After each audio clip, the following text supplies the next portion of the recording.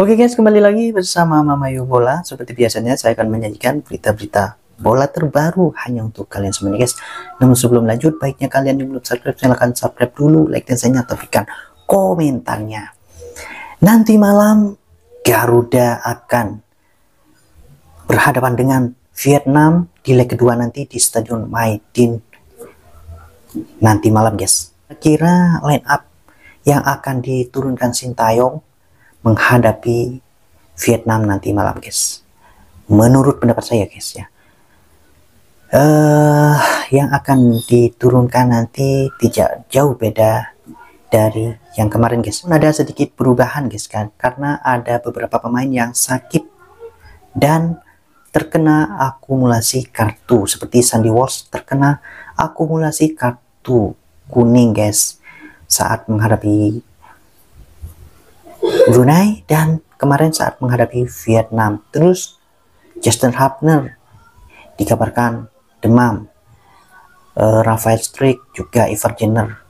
Namun kabarnya sudah membaik guys. Apakah mereka akan diturunkan? Dan yang paling penting guys ya, yang bakal diturunkan nanti malam adalah dua tonggak, dua tonggak utama timnas yaitu Ratmar Orwakmanmun dan Tom Haye yang baru saja dinaturalisasi. Saya penasaran dengan debut dua orang ini guys karena mereka adalah tim utama di Eredivisie Belanda guys. Eredivisie tahu sendiri ya. Eredivisie itu adalah liga utama liga satunya Belanda. Tahu sendiri, liga Belanda adalah liga keempat terbaik di dunia ya.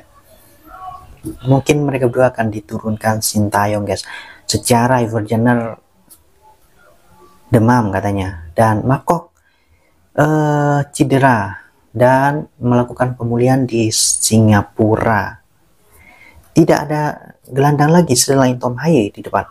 Ada yaitu tapi belum berpengalaman guys ya. Yang di belakang tentunya Asnawi akan diturunkan guys karena Asnawi sudah terlepas dari akumulasi kartu kuningnya. Dan pastinya HJSS pasti diturunkan. Dia akan bersanding dengan Nathan Juaon mungkin ya. Atau mungkin Arhan. Arhan dikatakan juga demam guys. Oke itu saja untuk kali ini ya. Jangan lupa subscribe, like, dan saya berikan komentar guys. Penasaran dengan debut timnas leg kedua nanti. Terima kasih, salam Mama Yobola.